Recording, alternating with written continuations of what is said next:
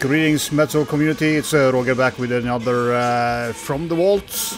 It's gonna be heavy metal, thrash metal only. Um, in the background, we are listening to yeah, heavy metal, hard rock, Vengeance, Take It or Leave It. Um, this was originally released in uh, originally. This is an original press, so 1987. Nothing inlay or anything. Uh, really cool album. Uh, I love this. It's it's not my kind of go-to um, style, but but this one has always kind of yeah resonated well with me at least. Um, cool vocals and uh, yeah, very catchy songs. So uh, kind of a, a cleanser for me when I listen to a lot of extreme music. I also have the um, it's the album before, yeah, 86. We have ways to make you rock. I'm sure you have, you know. This is also a original pressing that I picked up uh, way later than uh, you know, take it or leave it. Um, not as good overall, I think. Still a solid, solid uh, release from them, but you know, it was kind of take it or leave it. This and the album after Take It or Leave It was pretty good as well, but then kind of um, death metal happened and um, stuff like this was never, yeah, never gone back to kind of discovering new bands in that that uh, type of heavy metal in a way. Another original is you know uh, Realm Society or Suicidity. Um, this is the original press. Uh, would have loved to have the uh, first album on a repress I have that one on a Russian boot, but you know me, I'm gonna burn that mother F. But yeah, uh, this album is more like technical, uh, not so uh, in a way brutal as as the first. Is that Endless War? It's called. But yeah, nevertheless a great, great band, uh, great album. Um, I don't think they've done I don't remember if they did anything after that one, but you know. And we are going back to one of the most well-known Japanese band, Loudness. You know, Lightning Strikes. Yeah, kind of like this band a lot in the same you know, in the same vein as uh, Vengeance, it was kind of something there that hooked me, especially the vocalists was great, but they went ahead and removed him with a, uh, you know, think it was an American singer uh, to sell more albums outside Japan, but I think that backfired on them because, you know, the bad pronunciation and, and uh, great vocals, you can't kind of destroy that uh, special vibe that they had back in the day. I also have this uh, great live album live and loud. Live Alive. Live Loud Alive. Um, recorded in Tokyo, it's a double vinyl. I have had this for. This came out in. Uh, had to be 84, 85, 80, 84. So uh, yeah. This was my first. Um, I love the version of um, In the Mirror on this. is a killer, killer song and a killer riff, and you know the guitar player of, of um, Loudness is awesome. I don't know if I've shown this before. This is the only original Helstar that I have. You know the Burning Star. You know the two, three first Helstar album are my you know favorite albums, but um, yeah, there's no inlay in this either. Um, I don't know if there was originally, but uh, I bought this on a kind of a used store back in yeah late 80s. When this came out was um, I don't know, but always cool to have that you know Music for Nations back there. Uh, kind of a semi-new, mid-new. This is a reissue of the Hypnosia um, Extreme Hatred Swedish um, excellent, uh, you know, kind of brutal thrash. Uh, this is just a killer, killer release. I have the original CD uh, in here. I think I've shown this before, but uh, yeah, this is an album that you know every thrash fan should check out because uh, if you like, you know, old, you know, the old uh, Kreator stuff and things like that, this is a um, absolute killer album. Um, I, rec I, recommend every thrash fan to check it out because Hypnosia is killer stuff. Then I just had to pull out this one, uh, you know, Mordred Fool's Game. Uh, kind of um, funky, funky, fun thrash metal uh, not every day I love this album, but uh, if I'm in the right mood, this is a pretty good listen. Uh, but sometimes I kind of it gets too funky for me, uh, in a way. But um, they released a new album this year, I think, that I haven't checked out yet. I think Brendan talked about that one. And another well-known band, Sacred Reich, Sacred Reich Ignorance. Uh, this came out in 87, Metal Blade.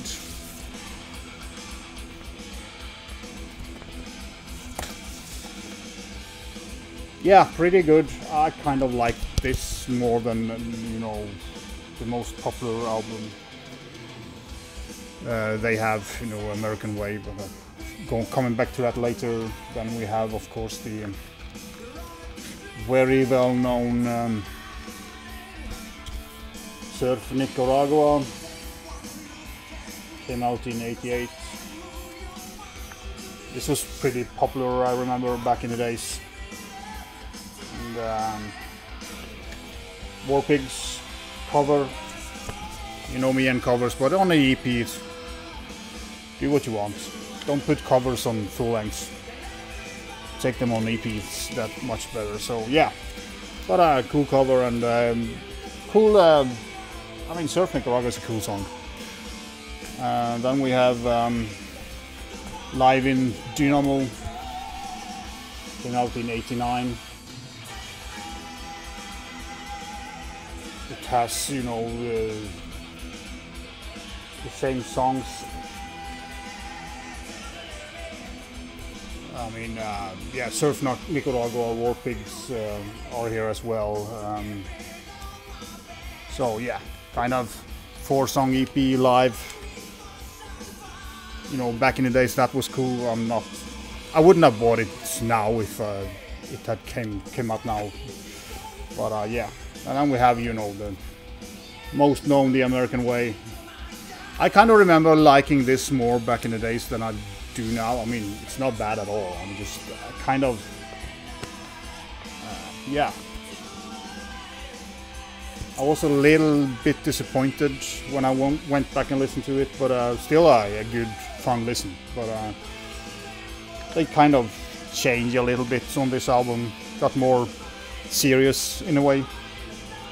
So, uh, but uh, still, still a good album, and you know, a lot of people love this album.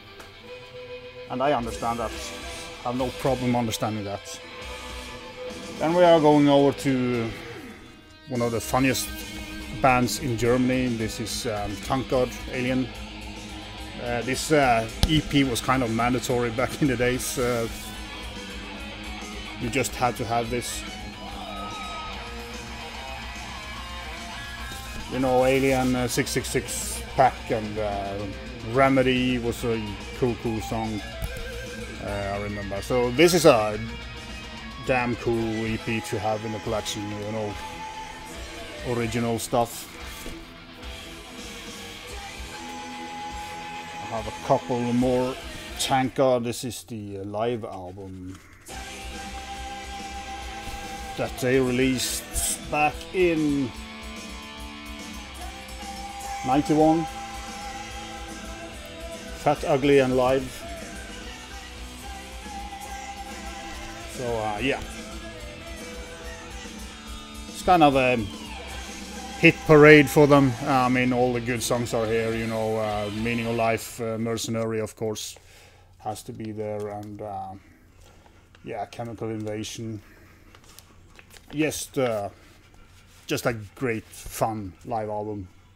Seen these guys live once, and you know, it is all about party. Uh, you know, and meaning of life. I'm having some of the stuff on on CDs, but uh, this is the original vinyl from you know back in the noise days.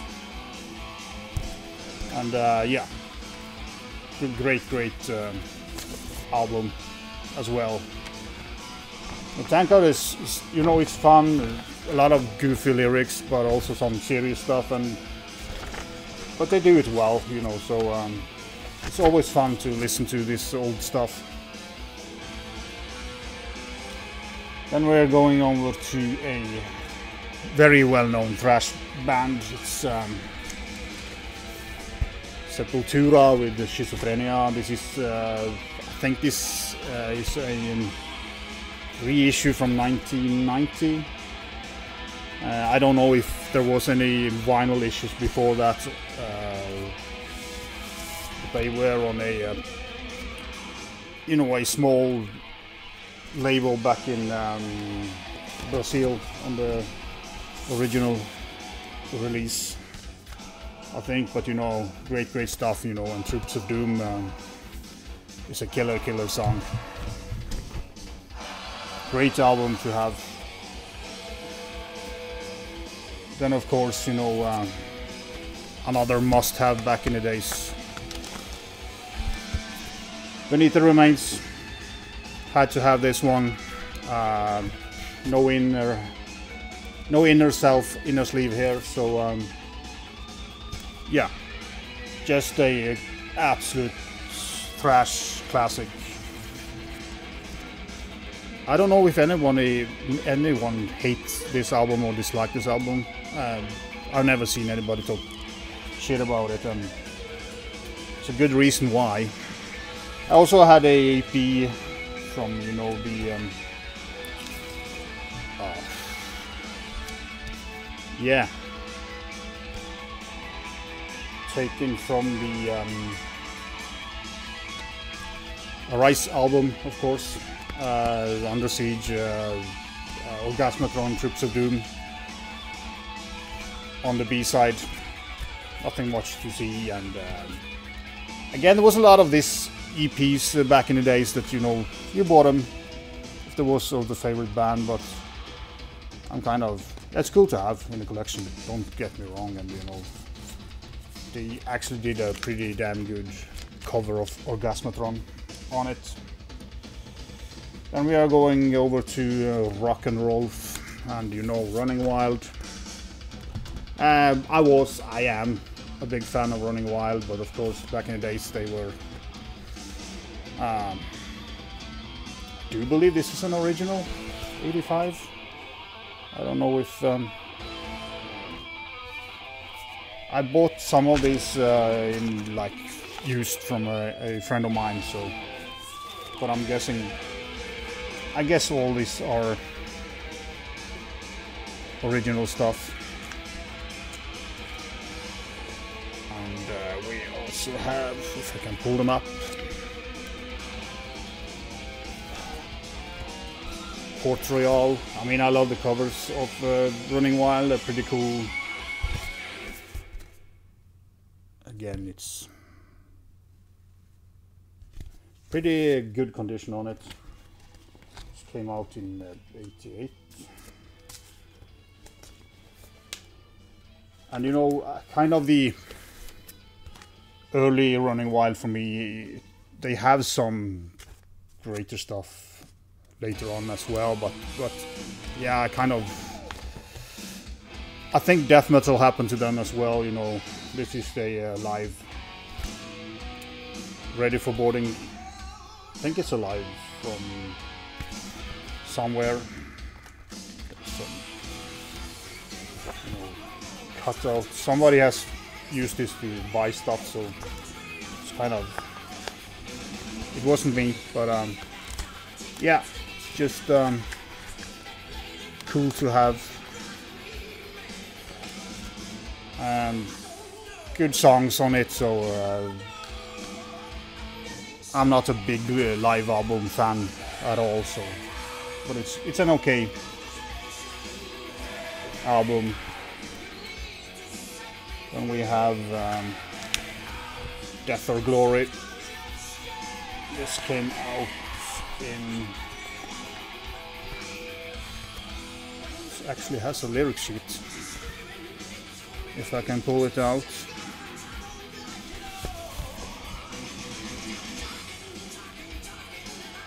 This is actually the jacket for the vinyl, but I have replaced that one.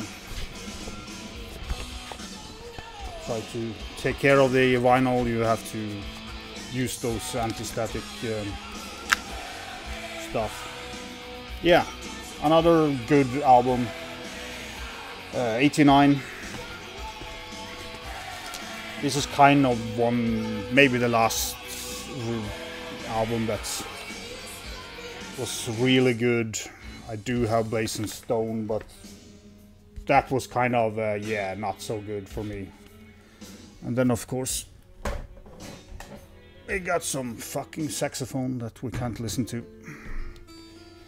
So, yeah, it's uh, kind of. Uh, yeah, it's a it's an okay album, but it's kind of not not my favorite. And you know, I saved the best for the last. You know, and uh, that's of course under Jolly Me. So uh, great album. Uh, love this album.